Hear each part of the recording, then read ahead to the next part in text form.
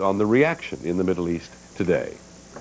From Iraq to Iran, from Cairo to Beirut, there was sharp condemnation and denials of responsibility from groups often associated with terrorism. In Lebanon, a spokesman for the Iranian-backed Hezbollah said, we are only interested in liberating our land from the Israeli occupation. We have no relation with the explosion inside the United States. In Gaza, Hamas and Islamic Jihad, which have been quick to claim responsibility for suicide bombings against Israel, were quick to deny any for the one in Oklahoma.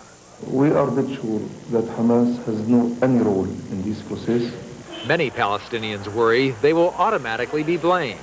Every time there's an attack, he says, people always try to connect it to the Palestinians. It's just crucifixion war against Islam.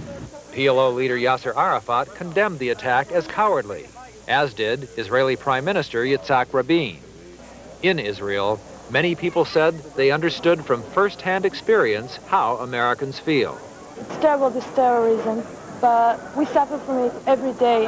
Now I think they, they will be understand, they understand better the thing that uh, we are sharing in, in Israel.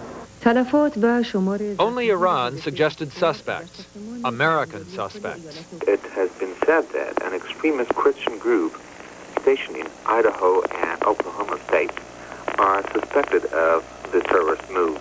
The most distinguishing feature concerning today's reaction was the almost total absence of any hostility or criticism of the U.S. by its enemies, the absence of any support for the bombing by those who have waged or supported terrorism in the past.